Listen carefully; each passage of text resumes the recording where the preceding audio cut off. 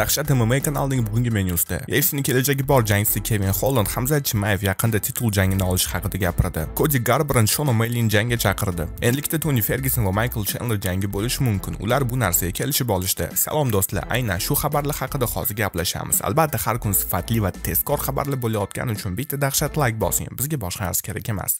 Video 1xbet kompaniyasi hamkorligida tayyorlandi. Siz bu yerda topoviy janglar, matchlarda g'olibingizni aniqlashingiz mumkin. Pastda описаниеda ссылка bor, o'sha orqali o'ting yoki xohlagan joyingizda yangi registratsiya qilib promokod joyiga dahshat MMA deb bizning promokodni yozsangiz eksklyuziv tariqasida birinchi pul to'ldirganingizdan keyin sizga bonus tariqasida 1 million 300 ming so'm beriladi. UFC'ning kelajagi bor UFC'ning kelajagi bor o'rta vazni Kevin Holland Hamza Chimayev yaqin orada titul olish haqida gapirib berdi. Uning gaplari: "Men o'ylaymanki, yarim o'rta vazn uchun juda ham katta va bu vaznda u hammaga muammo yaratadi. U jinglardan o'tgani bu haqiqiy aqlsizlik edi. Agar siz unga bundan oldin shubha qilgan bo'lsangiz, bilmadim keyinchalik nima bo'ladi. O'ylaymanki, u hamma ishni yaxshi qilmoqda. Biz bu narsani murabbiylarim bilan muhokama qilganmiz va to'g'risini aytsam, bu yil u titulka jangini olsa kerak. Yana bir g'alaba va u titulkani oladi. Bu bola hammani yo'q qilmoqda va bu haqiqatan ham qiziqarli narsa deb aytib o'tdi Holland. Albatta nima deb o'ylaysiz do'stlar, ammo shaxsan meni fikrimcha Hamza Chimayev uchun 2022-yil agar xuddi shunday formasida bo'lsa, juda ham, juda ham omadli bo'ladi.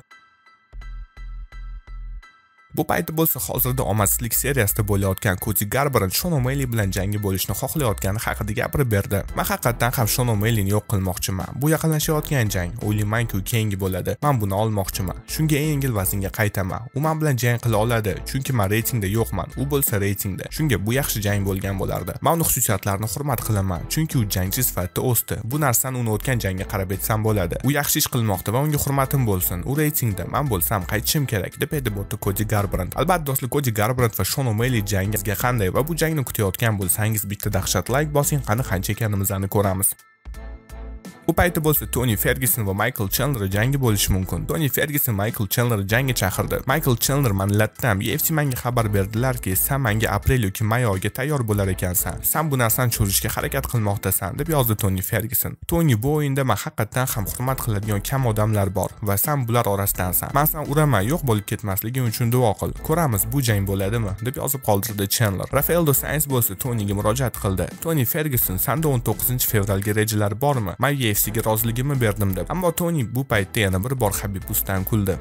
Qari semiz hali ham shirinliklar yemoqda. Bu narsa uni oyoqlariga o'tadi, buni tushunmaydimi? Ha ha, u shunchalik semizki va shunga u yangi vazn toifasi ochdi. Qanday aqlsizlik. Eslatib o'taman, Habib o'zini ligasida Eagle FC 75 kilogrammlik yangi vazn ochdi va u yerda endilikda Kevinli jang qiladi. Albatta do'stlar, nima deb o'ylaysiz? Toni Ferguson va Michael Chandler bu jangda kim g'olib bo'ladi? Ya'ni haqiqatan ham Toni Fergusonga may-aprel oyini taklif qilishgan bo'lsa, Chandler va Toni Ferguson jangini reja qilmoqda. Bilmadim nega Conor McGregor Tony Ferguson emas yoki Conor makgregorga haqiqatdan ham titulga, ya'ni Olivera bilan jang berishmoqchiman, ammo keyinchalik nima bo'lishini ko'ramiz. Bu haqda do'stlar pastda fikringlarni bildiringlar. Yetkazmoqchi bo'lgan xabarlar shularga yoqqan bo'lsa, albatta like bosamiz. Yangi bo'lsanglar obuna bo'linglar, maqsadimiz million obunachi.